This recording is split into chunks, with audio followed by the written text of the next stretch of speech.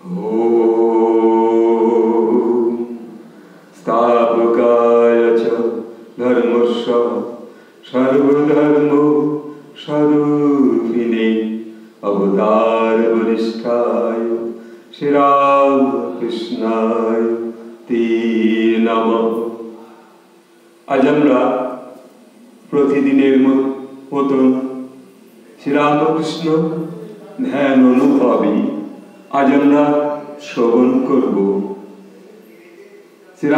শ্রীরামকৃষ্ণ বেদান্ত মঠে এই আসন থেকে প্রভু শ্রীরামকৃষ্ণের যে অহৈতুকী কৃপা, এই অহৈতুকী কৃপা ঠাকুরের সমগ্র ভাবনা, বাণী, ভাষা, সকল কিছুর মধ্যে তারই কৃপাময়।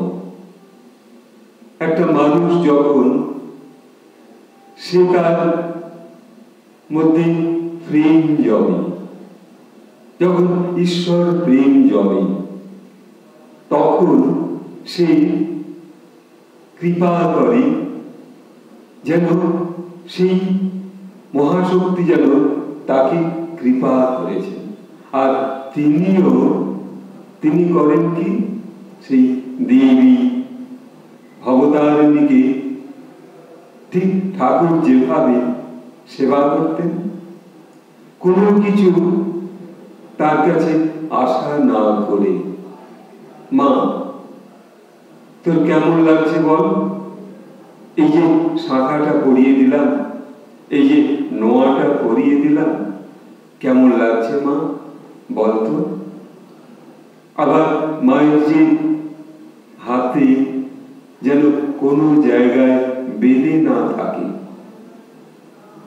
যেন সেই নোয়ার আঘাতটাও তার শরীরে না লাগে। অথচ সেই পাষাণ মূর্তির সঙ্গে তিনি সদা সর্বদা এইভাবে এইভাবে তার সেবা করে চলেছেন। কখন মাকে খাইয়ে দেবেন এবং খাইয়ে দেওয়ার পর মায়ের যে মুখটা মুছিয়ে দিতে হবে এই যে সর্বদা সদা স্বইচ্ছায় নিজেকে সমর্পণ করা। মা আমার কখন সারা দেবে সেই আশা করে না তিনি যখন সারা দেবেন দেবেন যখন তার ইচ্ছা হবে, সেই জগৎময়ী মা তখন সারা দেবেন। মায়ের যে কৃপা, তিনি যখন কৃপা করবেন, তাঁর ইচ্ছা। তো মায়ের যখন শ্রীরামকৃষ্ণ আমরা এই ধ্যান অনুভবে, যখন দেখছি ঠাকুরকে, দেবী দক্ষিণেশ্বরে গিয়ে সেই ভবতারিণীর দোয়ারে বসে, যখন আমরা দর্শন করছি, তখন দেখতে পাচ্ছি ঠাকুর যেন এখনও তাকে সেবা করে চলেছে। যদিও তখন মন্দিরে মানুষজন থাকলেও তারা যেমন সেবা করছে, প্রকৃত ভক্ত সেই সেই অন্যান্য সেবকদের আর দেখতে পাচ্ছে না। দেখতে পাচ্ছে তাকে সেই জগৎময়ী মাকে সেবা করছেন পরম পুরুষ। তিনি এসে বলছেন কই আজকে মায়ের কণ্ঠে যে গলায় যে বেলপাতার মালা পড়েছে, সেই মালাটি দেখি ঠিক মতো মায়ের গলায় পরানো হয়েছে কিনা। কোথাও দেখা যাচ্ছে বেলপাতার মালাটি একটু গলার কাছে ঠেকে রয়েছে। তো শ্রীরামকৃষ্ণ সেই মালাটি হাত দিয়ে সযত্নে সরিয়ে দিচ্ছেন। আবার কখনো জবার মালাটা যখন দিচ্ছেন, তখন সেই জবার মালাটায় যেন একটু কোনো নোংরা না থাকে, যেন প্রত্যেকটা ফুল তাজা থাকে, পরিষ্কার, পরিচ্ছন্ন। এই যে আবার মালাটি যখন শ্রীরামকৃষ্ণ তাকে পড়াচ্ছেন, যখন পড়াচ্ছেন, সেই পড়ানোর সময় দেখছেন, ওই মালার মধ্যে আরও ভিজে অবস্থা রয়েছে কিনা। মালাটি আগে জং গঙ্গা জলে ধুয়ে নিয়ে আগে শুকিয়ে নিচ্ছেন। মাকে দেবেন, মা, তা গ্রহণ করবে। এবং সেই গ্রহণ যেন তাঁর আনন্দের দান তিনি তখন শ্রীরামকৃষ্ণ সেই ভাবনার মধ্য দিয়ে মাকে তখন মালাটি পড়াচ্ছেন প্রকৃত ভক্ত সে দর্শন করছে। এই তো ঠাকুরকে আমরা দর্শন করছি। এবং যার মধ্যে এই ভক্তি এই ভক্তি ভাবের মধ্যে সে তখন স্পষ্ট দেখতে পাচ্ছেন তার সেই রূপকে। তো আমরা যখন ধ্যানে বসবার যে ভাবনায় আসি, যখন আমরা শ্রীরামকৃষ্ণের ধ্যানে আমরা বসে, যখন সেই ধ্যান আস্তে আস্তে শরীরে মনের মধ্যে আরও প্রকাশিত হয় তখন আমরা দর্শন করতে পারি সেই রূপকে। এবং রূপকে, ঠাকুরের রূপকে যেমন আমরা কল্পনায় দর্শন করছি, আবার শ্রীরামকৃষ্ণের যে রূপটি, তখন সেটিও আমরা দর্শন করছি। ঠাকুরেরা সম্পূর্ণভাবে মায়ের সাজগোজ করে নিয়ে, মায়ের যে কপালে কেমন করে ঠিক ঠিক টিকলিটা আছে কিনা, সেইটা আরেকটু সোজা করে দিয়ে দেখছি কেমন ঠিক কপালের সম্মুখে। বেঁকে যায়নি তো? আবার কখনো তার সেই চোখ ছলছল করছে কিনা? কখনো সে আনন্দ পাচ্ছে কিনা? সেই পাশার মূর্তি চিন্ময়ী মূর্তি হয়ে উঠল কিনা? প্রতি মুহূর্তে তার সেই চোখে চোখে দর্শন করছেন তিনি। কখনো যেন তার মধ্যে জিজ্ঞাসা আসছে, মা মা, তুমি কি কিছু জিজ্ঞাসা করছিস আমাকে? তোমার কি কিছু ত্রুটি হয়েছে? বল মা। এই যে কালী ঘরের মধ্যে এই নীরব পূজা। আপন মনে যে পূজা। সে পূজা অন্যেরা তা অনুভব করতে পারবে না। বাইরে শ্রোতাবৃন্দ বা দর্শক বৃন্দ তারা ভাবছে, ঠাকুর কখন বেরিয়ে আসবে? ঠাকুর কি এখনও মাকে সাজানো হলো না? না। হয় না। মা যতক্ষণ না ছাড়বেন ততক্ষণ মায়ের কাছ থেকে সন্তান বেরিয়ে আসতে পারবে না। সেই মায়া সেও এক মায়াময় সময়। মায়া, মায়াটা কি? মায়া যেন সেই এক ছোট্ট সময়ের মধ্যে এসে গেছে, যে আমি এই মায়ের কাছ থেকে এখন সরব না। মাকে সেবা করে তারই মায়াবদ্ধ হয়েছি। সে তার মধ্যে যে মাকে এখন ছেড়ে আমি যেতে পারব না। মাকে পূজা করে, আরতি করে, তারপর মাকে সেবা দিয়ে, মাকে খাইয়ে দিয়ে, তারপর আমার এখান থেকে যাওয়া। এবার ঠাকুর তো সমস্ত সাজানো হয়ে গেল। এইবার সেই ঘটে সম্মুখে বসে গঙ্গা জল নিয়ে আচমন করে, ধ্যান করে, সমস্ত চিন্তা যেন মায়ের কাছে, মা, এইবার তোকে আমি পূজা করব। এই যে ভাবনা, এই ভাবনা কারোর মধ্যে প্রকাশ করা বড় কঠিন। মায়া কি? মায়া হচ্ছে সেই রকম যেন একটা একটু তার পথে আটকে থাকা।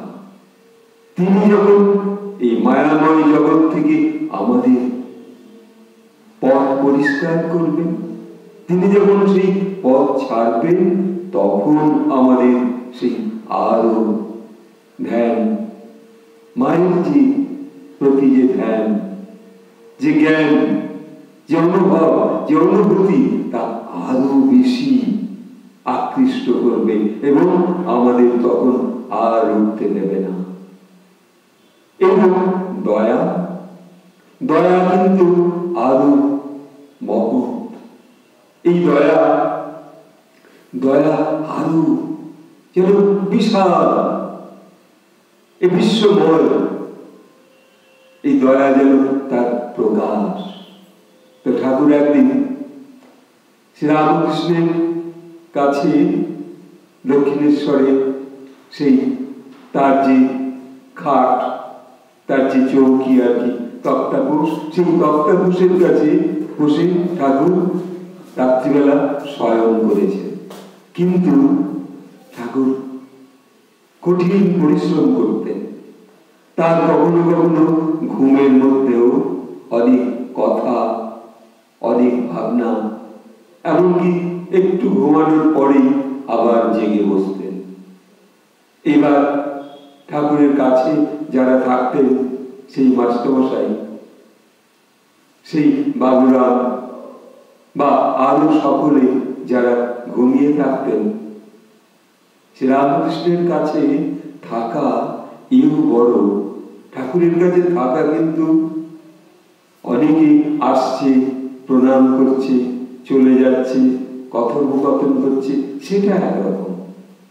কিন্তু ঠাকুরের কাছে সারা রাত শয়ন করা ই বড় কঠিন। তো মাঝপথে যখন রাত্রি দুটো বাজে, তখন শ্রী রামকৃষ্ণ তার চৌকির ওপর উঠে বসলেন। উঠে বসে দেখি বাবুরাম তো তখন একটু জোয়ান। তো মাস্টারমশাই শুয়ে আছেন, কিন্তু মাস্টারমশাই উঠে বসলেন। ঠাকুরকে তিনি লক্ষ্য করে যাচ্ছেন যে এখন তিনি একটু শোয়ার পর আবার উঠে বসলেন। তারপর বললেন যে দয়া আর মায়া। এই যেন আমাদের পরিব্যাপ্ত করে আছে। তখন ঠাকুরের সেই মুখের সেই ভাষাটা, সেই বাণীটা, সেই কথাটা তখন তিনি যা বললেন, যা বলেছিলেন, মাস্টারমশাই, সেইটি উঠে আবার নোট করছে। ঠাকুর এই সময়, এই রাত্রে, এই মুহূর্তে ঠাকুর ঘুমের মধ্যে উঠে বসে। তিনি তো সময় পাবেন বলে ভাবতেন যে যদি আমার এই শরীর আজ মহামায়ার মায়া ত্যাগ হয়ে যায়, যদি আমায় চলে যেতে হয়, তাই তার সেই কথাটাও শিব মাস্টারমশাই ওইটাও নথিভুক্ত করে রাখছেন। তার ডায়েরিতে লিখে রাখছেন। দেখুন, ঠাকুরের কাছে থাকা কত কঠিন। এবং সেই যে তার কাছে পড়ে থাকা, তার আশ্রয়, তার চৌকির নিচে শুয়ে থাকা কখন উঠবে? ঠিক করে জেগে আছেন মাস্টারমশাই। ঠাকুর যদি ওঠে, উঠে তো একটু তিনি হয়তো বলবেন, জল খাব। তার জন্য তাকে বসে থাকতে হবে। যদি ঠাকুর বাইরে যান, তখন তার কাছে তাকে নিয়ে বাথরুমে নিয়ে যেতে হবে। এই যে কর্মগুলো এই কর্ম মা যেমন শিশুকে এক পাও ছেড়ে যায় না। জান না, শিশু কখন ঘুমাচ্ছে, কেমন করে ঘুমাচ্ছে, ঘুমোতে ঘুমোতে তার আঁচল থেকে দূরে চলে গেছে কিনা। সবটুকু তাকে লক্ষ্য রাখতে হবে। এই যে লক্ষ্য রাখা, এই শ্রীরামকৃষ্ণকে স্বয়ং তার কাছে থাকা, তার কাছে বসে থাকা। রাত জেগে, কখনো বা দিন জেগে, কখন তিনি কি বলবেন? তার সেই ভাষাটাকে নথিভুক্ত করা এ বড় কঠিন কাজ। সেই যে সেবা, সেই যে গ্রহণ, ঠাকুরের কাছ থেকে যে তার কাছে তার সেই কোন সময় কি বলছে সেইটিকে অনুভব করে ঠিক কথোপকথনগুলো তুলে ধরা। এই ছিল মাস্টারমশাইয়ের কাজ। এও যেন সেই এক অহেতুকি কৃপা। কোনো হেতু নেই, কোনো কারণ নেই, অথচ তাকে সেবা করা। এই সেবার মধ্যে নিজেকে সম্পূর্ণভাবে সমর্পণ করা। ঠাকুরের কাছে যেহেতু মাস্টারমশাই শুয়ে থাকছেন রাত্রিবেলা, কখন তা কি হয়? কখন বিছানা থেকে ওঠে বা নামে? কখনো বা ধ্যানে মগ্ন? তার পিছন থেকে বালিশটা সরে গেছে কিনা? সে ঠিকভাবে বসে আছে কিনা? একজন শিশুকে পালন করছেন আর এক দায়িত্বপূর্ণ সেই শ্রীম মাস্টার এবার কঠিন দায়িত্ব। আর যারা একটু বয়স হয় এবং যাদের মধ্যে এই ঈশ্বর শক্তি বিরাজ করে প্রতি মুহূর্তে তাদের মন, তার মন, ঠাকুরের মন কখন সেই দূরে দূরান্তে মহামায়ার সেই চরণে রাত্রিবেলা উঠে হয়তো ভাবলো, ও মা, তুই এসেছিস? আমার কাছে? বস মা, বস, বলে ঠাকুর হয়তো উঠে দেখছেন ঘুমের চোখে মা হয়তো তার মাথার কাছে এসে দাঁড়িয়ে আছে। যেমন এই সত্য প্রকাশ রামপ্রসাদের কাছে, যেমন মা চলে আসতেন তিনি বেড়া পাচ্ছেন আর রামপ্রসাদ দেখছেন, দড়িগুলো কোথায় রেখেছি? ও খুব কষ্ট হচ্ছে। দড়িগুলো হাত বাড়িয়ে বাড়িয়ে নিতে। তো মহামায়া এক কন্যা রূপে এসে তাকে সেই দড়িগুলো দিচ্ছে হাতে। আর রামপ্রসাদ সেই বেড়া বাঁধছে। কি অপূর্ব সেই শক্তি, কি সেবা। সেই মহামায়াও স্বয়ং সেই রামপ্রসাদকেও তিনিও সেই কৃপা দিয়েছে। তবেই তো তার সেই আশা। তবেই তো তার সেই ভালোবাসা। মায়ের প্রতি ঠিক সন্তানেরাও এইরূপ ভাবে মাকে প্রকৃত সন্তান যারা তারা মায়ের কাজ ছাড়া হয় না। সে যখন মাকে বলেছেন, তুমি মা সেই জগৎকারিণী তুমি মহামায়া। তুমি আমার মা এবং তুমি জগতের মা। তুমি সকলের কল্যাণে আজ তুমি এসেছ। আজ এসেছ আমার কাছে। আমি তোমাকে সেবক হিসেবে কখনো পূজারী হিসেবে, কখনো তোমাকে সন্তান হিসেবে। আমি সেবা করে যাব, সেই ধ্যান অনুভবে। আজ আমরা শ্রীরামকৃষ্ণ বেদান্ত মঠে এই আসন থেকে ঠাকুরের সেই কৃপা। তিনিও যে এখনও সেই কৃপা দান করে যাচ্ছেন। কোন মহারাজ কোন সাধক কোন ভক্ত যখন সে বিপদে পড়ছে বা যখন সে বিপদে আর পড়েনি, তখনও সে তাকে সেবা করছে। তখনও সে তাকে বলছে যে, তোমার কি হয়েছে? কি কষ্ট? কি তোমার প্রকৃত চাহিদা?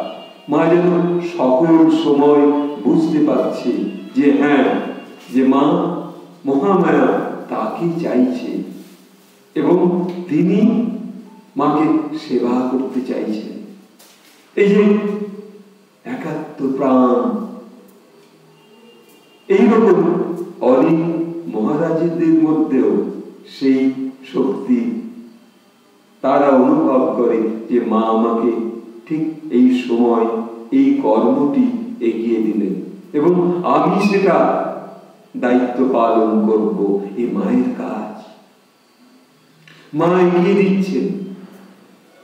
আমাদের শ্রীরামকৃষ্ণের ধ্যান অনুভব, এই যে প্রতিদিনের যে প্রকাশ, এও কিন্তু মা মহামায়া আমাদের এগিয়ে দিচ্ছেন।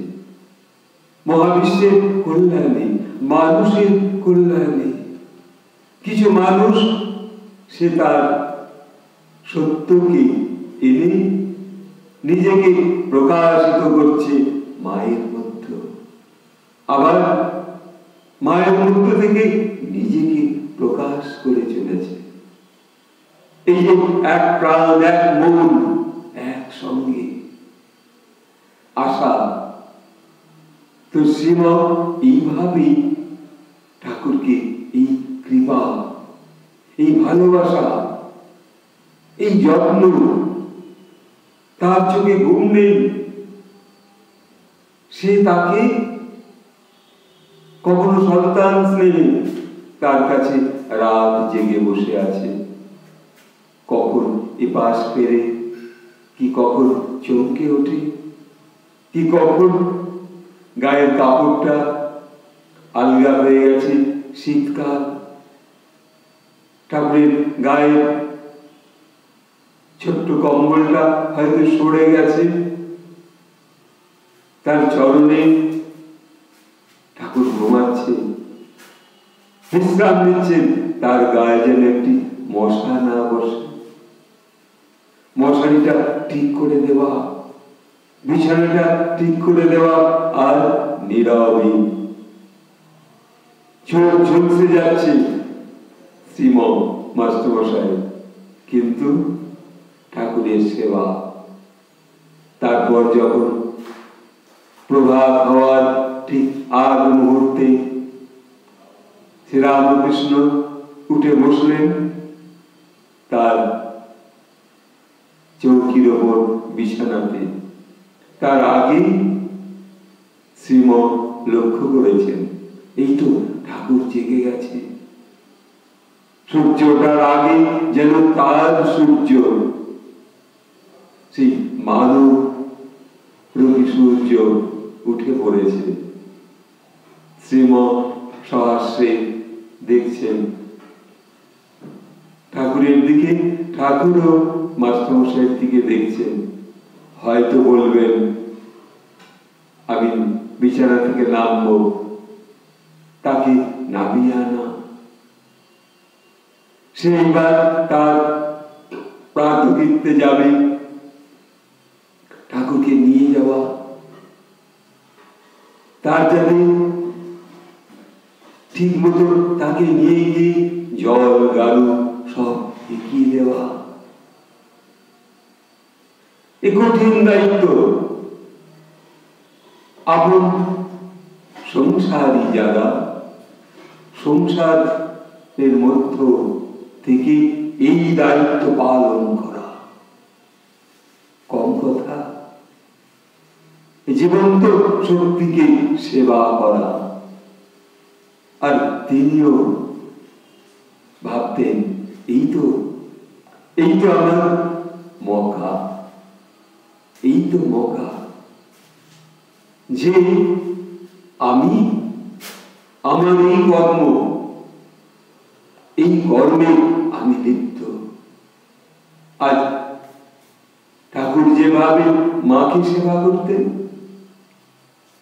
সেই পাষাণ মূর্তিকে কখনো তার মধ্যে সেই চিন্ময় শক্তিকে দর্শন করে তার সঙ্গে কখনো কখনো প্রলাপ করতেন কখনো বা আনন্দে তাকে সেবা করতেন।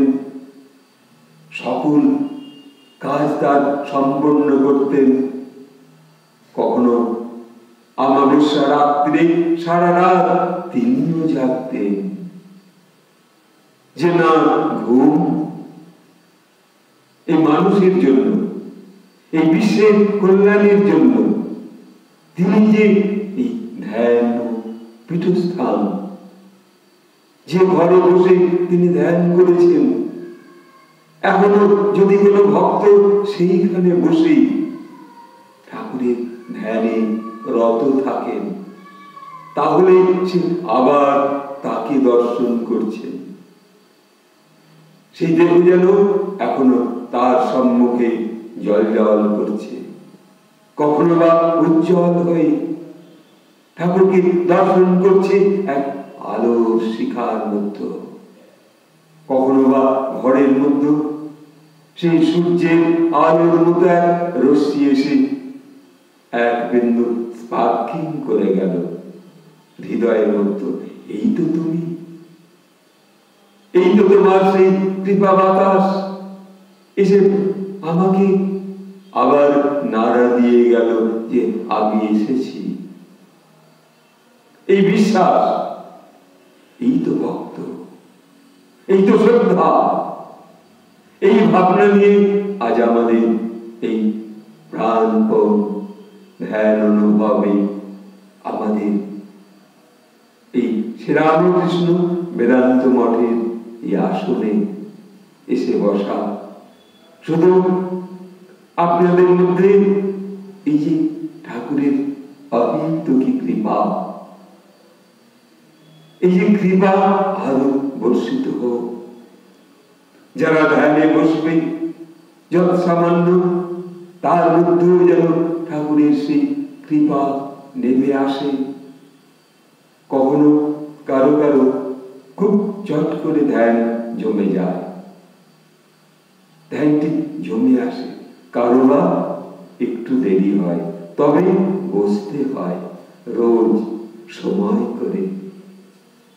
আজ এইটুকু বলে শ্রীরামকৃষ্ণ ঠাকুরকে আমি আমার আভূমি প্রণাম জানিয়ে সকল শ্রোতা, ভক্তদের আমার ভালোবাসা, শ্রদ্ধা জানিয়ে এখানে শেষ করছি।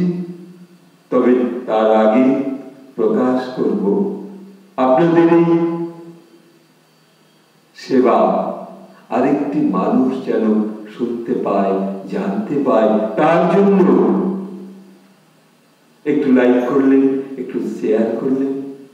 আমাদের শ্রীরামকৃষ্ণ বেদান্ত মঠের এই চ্যানেলে আপনারা একটু কমেন্ট লিখলেন। এইটুকু বলে এখানে শেষ করছি। মাকে প্রণাম জানান ঠাকুরকে প্রণাম জানান জননী সারদাং দেবী রামকৃষ্ণ জগদ্গুরু।